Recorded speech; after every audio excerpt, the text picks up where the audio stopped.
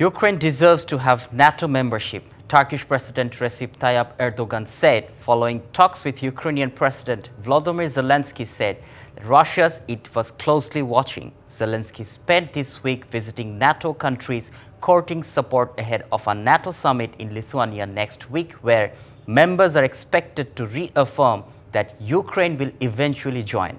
Zelensky said he was happy to hear that Turkey supports Ukraine's bid to join during a joint press conference. NATO has an open door policy, meaning that any country can be invited to join if it expresses an interest as long as it is able to willing to uphold the principles of the alliance's founding treaty.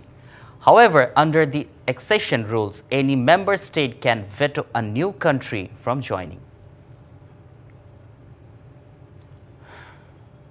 The United States announced Friday it will provide cluster munitions to Ukraine for the first time as Kiev's forces face tough fighting in their counter-offensive against invading Russian troops. The move drew sharp criticism from rights groups due to the danger unexploded bomblets pose, but Washington said it has received assurance from Kiev that it would minimize risk to civilians, including by not using the munitions in the populated areas.